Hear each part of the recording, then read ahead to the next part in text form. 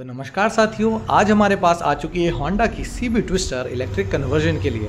यहाँ पर हमने इस गाड़ी को फुल इलेक्ट्रिक में कन्वर्ट किया है, जहाँ पर हमें 110 किलोमीटर तक का रेंज मिल जाता है पर चार्ज यहाँ पर हमने इस्तेमाल किया है 1500 वॉट का 72 वोल्ट पर चलने वाला एक बी हब मोटर यहाँ पर आपको एक मिल जाता है dust proof charging socket lithium ferrous phosphate battery का इस्तेमाल किया है। इसकी बात करें, यहाँ पर आपको तीन मोड्स मिल जाते हैं, जिसमें आता है normal eco and sports mode जहाँ पर आप अपनी स्पीड्स को गियर्स की तरह सेट कर सकते हैं। इसके अलावा फॉरवर्ड के साथ साथ आपको मिल जाता है रिवर्स मोड और डिजिटल डिस्प्ले जिस पर आप रियल टाइम में बैटरी का रिमेनिंग पावर देख सकते हैं।